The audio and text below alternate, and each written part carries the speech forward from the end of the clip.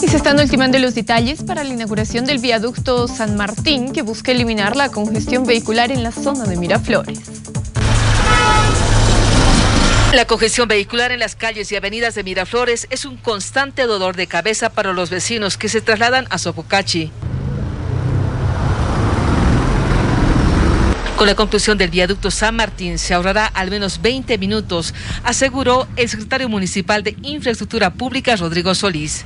Tomando en cuenta que uno tenía que eh, cruzar el puente de las Américas, entrar la litoral, sortear la Saavedra, dar la vuelta a la Argentina, entrar la Nicaragua y subir la, la, la Bush. Todo eso llevaba 20 minutos. Ahora aproximadamente se va a reducir a dos minutos el mismo trayecto, tomando en cuenta que los vehículos irán por debajo de la Plaza San Martín.